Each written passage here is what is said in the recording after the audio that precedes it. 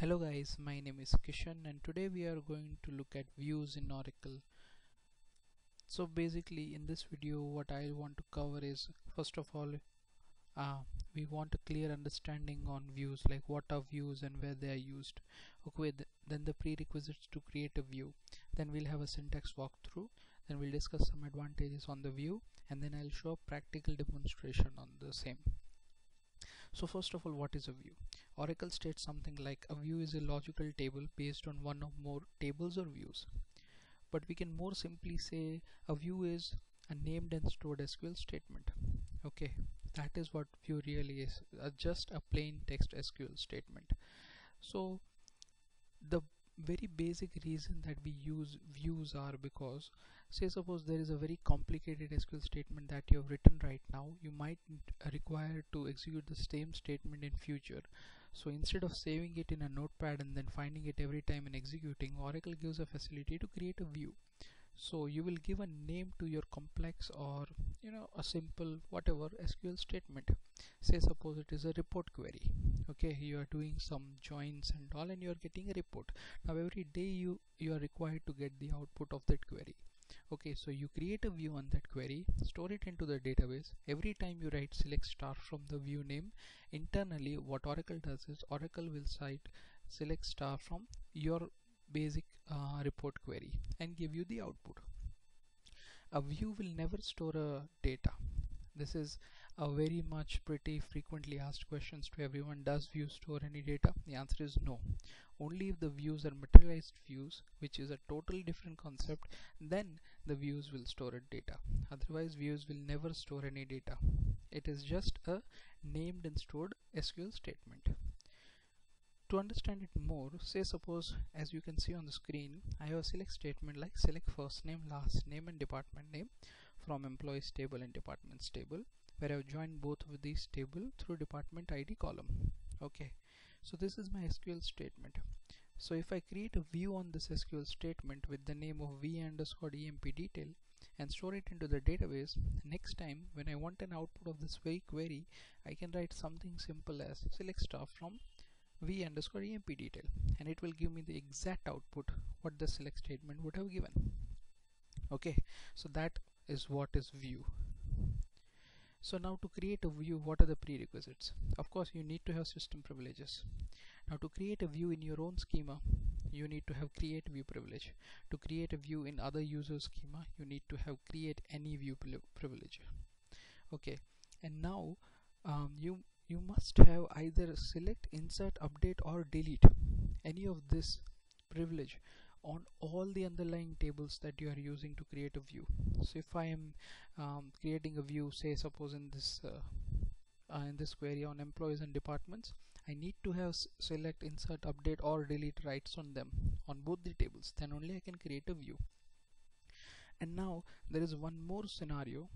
This is the third point. That's a prerequisite and that's very keen. I, I would prefer that it is quite uh, understood to everyone. Say suppose there's a scenario something like a user A okay a user A has two tables EMP and department. And it gives a grant on these two tables to user B. Now user B creates a view view1 on these two departments. Now user B will be able to grant access to this view to user C only if you know the privileges or the access right given to user B on employee and department table of user A are given through with grant option.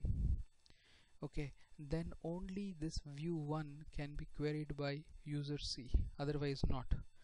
You might come you might face errors in production sometimes like you know the, there's not enough privilege to access the view and that would be because the view you might have given privilege to access a view from one user to another. Say from B to C you have given access to access the uh, view 1 which is based on table EMP and department which are part of user user A. Only if user A has given the privilege to user B with grant option stating that okay you can grant access to on this table further on to some other user then only user C will be able to access the view. Okay so this also satisfies our statement a view is a named and stored SQL statement. Okay. Now coming to the syntax. Syntax is pretty much simple. We have create or replace. Or replace is used only when you are replacing the view. When the view with the name with that name already exists in the database and you want to change it. Then you will be using this or replace. Okay uh, why not drop? Because you know when you do an or replace what you will do is you will just tell the oracle that we know that this view exists. I just want to change the definition. Let all the grants and all given on the view be as it is. So in that case or replaced is used otherwise it is not required. And then comes force or no force option.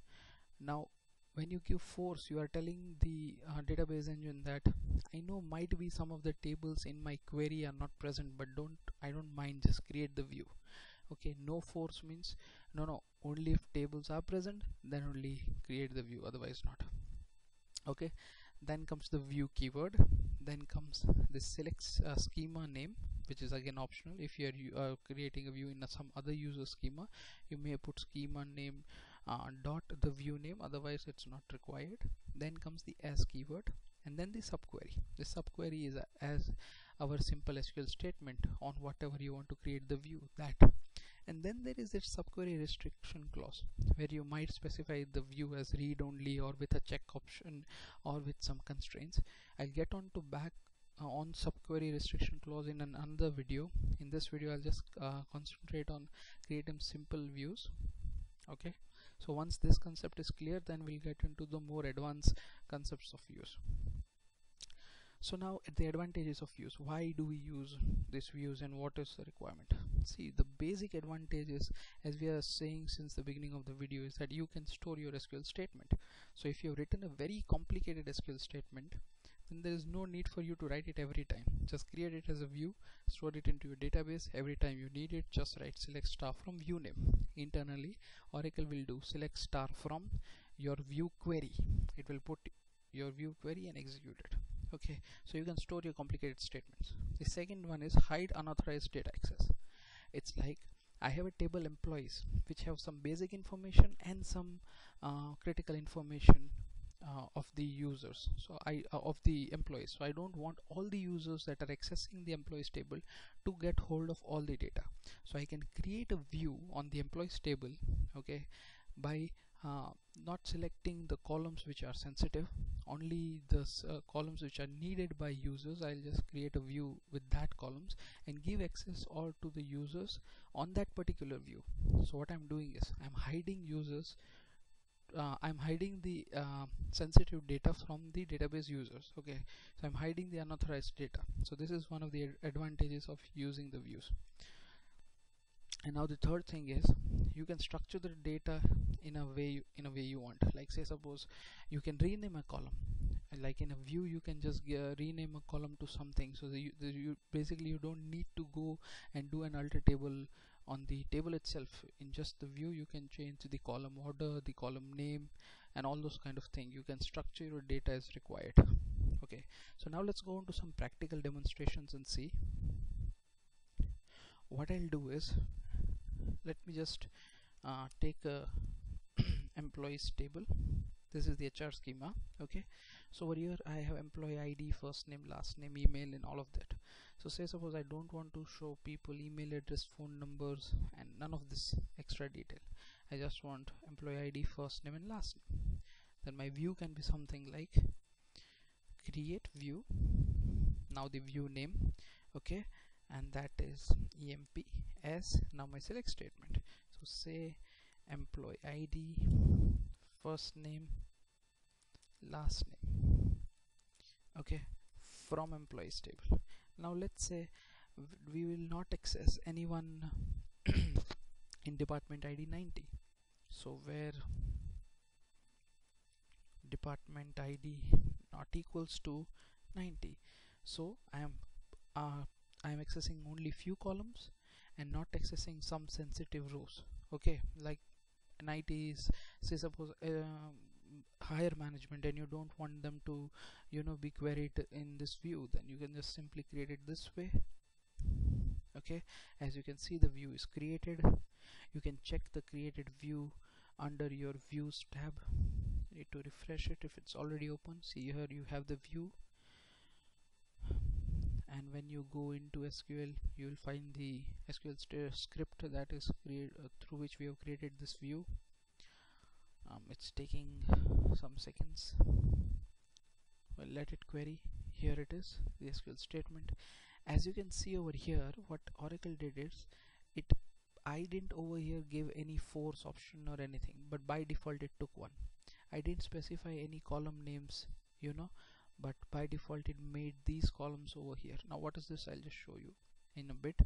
Now when you will query this say select star from EMP I'm querying this view and I have all the data as you can see. It's not all.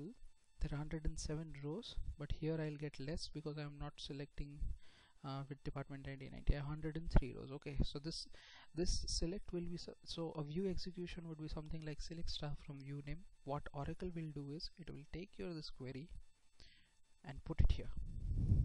This is the way how Oracle engine would execute. Okay this is the way Oracle engine will execute our query. Select star from and it will put our select statement. This is the way. Fine. Now let me create a view let a, a bit complex view okay? I'll just join two tables. Fine and we'll see we'll see then how we can give aliases to it. So create a view say create view employee details. I'll take the first name last name and department name. Okay so I'll join employees table and department table. So select first name last name department name from employees table. Ah I did a typo employees. I'll give an alias of E. Departments with an alias of D now I'll join both of this based on department ID great. Here. So I'll create a view create view view name. Then there is the as keyword. And then my select statement. Now say suppose instead of first name I want to write I want the column name something s f name I want instead of last name L name instead of department name DPT name. So I'm just giving aliases to the column. When executed as you can see the view is created. Now when I select star from EMP details as you can see I have my output I have my column named renamed okay? So this is it. This is how you can create a view. Now every time you want to you want first name last name and department name no need to write this query again. Just write select star from view name and you have your output. Okay. Now instead of giving your aliases here you can even give it over here where you are giving your column names. So say first name last name. Okay. And I'll just change this. I'll make dt name so that we can come to know that the aliases are changed. Now as I'm changing the uh, definition of an already existing view I need to mention or replace right? So create or replace view view name as this one. I'll just execute it. Uh, it says duplicate column because I have given f name f name again. It's just l name over here. Executed as you can see. The view is created. Now I executed select star from view name. As you can see new aliases have taken place. So you can give aliases where you write the select clause. You can give it also over here fine. So this is basically what views are named in stored SQL statement but there is more to it. As I said there is check constraints and there are more other things um, then there is read-only views. Then can we insert and update a view? Can we delete data from a view? Yes you can. What actually happens is when you insert something in a view the base table that is base tables are nothing but tables on which tables or views on which the view is created those will get updated inserted or deleted based on your action. So every time can you do that? No. There are certain restrictions and all. In fact there are many restrictions on creating a view. So my our next video will uh, target restrictions on creating the view. And then in the third video we'll look at read-only views and you know with check constraint views and all. Also I just mentioned something called as materialized view which will store data. If you want to uh, get more details on that. Please do check out my video on materialized view. It is very informative. So I guess I'll hold this video uh, till here and I'll create another one for you know insert update deletes and read only views and and force and no force. So please do tune in to check those videos out also. And please do let me know your thoughts in the comments like how was it if you need any changes and all I would love to hear from you guys. Um, thank you for watching this video. This is Kishan signing off